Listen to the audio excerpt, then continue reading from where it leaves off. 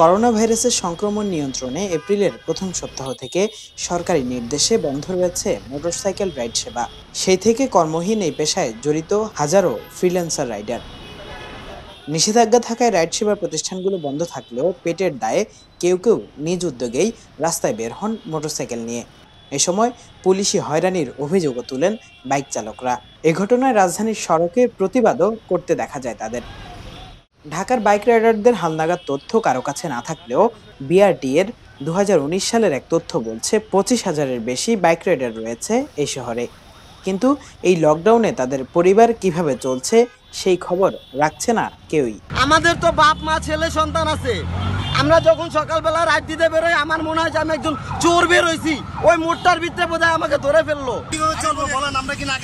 তবে এবার ভিন্ন কর্মসূচি নিয়ে রাইডারদের পাশে দাঁড়াতে দেখা গেল ডিজিটাল রাইড নামের একটি বেসরকারি প্রতিষ্ঠানকে। রোববার অর্থনৈতিক সংকটে থাকা বাইকারদের খাদ্য সহায়তা দেয় তারা। গত পনেরো দিন আমরা অবজারভেশন করে দেখলাম যে হিউজ পরিমাণে ফ্রিল্যান্সার ড্রাইভাররা আর্থিকভাবে ক্ষতিগ্রস্ত। তারা অনেকগুলো ডেমনস্ট্রেশন করল অনেকের কাছে আবেদন করল তাদের পাশে দাঁড়ানোর জন্য।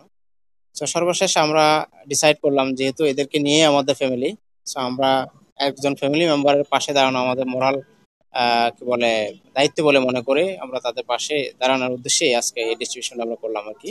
তো আমরা আশা করছি যে তারা আমাদের পাশে থাকবেন আমরা তাদের পাশে যতটুকু সম্ভব আমরা এগিয়ে আসব। সামাজিক দায়িত্ব থেকে বিপদগ্রস্ত পরিবহন চালকদের জন্য এমন আয়োজন বলে জানান এই উদ্যোক্তা। আমরা আমাদের রাইডারদের বাহিরেও কিছু ড্রাইভারদেরকে আমরা দিব। যেহেতু এটা মানবিক একটা কি বলে অ্যাক্টিভিটিস সেক্ষেত্রে আমরা কোনো বাউন্ডারির মধ্যে রাখতে চাই না। টানা লকডাউনে ক্ষতিগ্রস্ত পরিবহন সেবাদাতাদের পাশে দাঁড়াতে বৃত্তবানদের এগিয়ে আসারও আহ্বান জানান তিনি। Kefayat Shakil, Bangla Vision digital, Dhaka.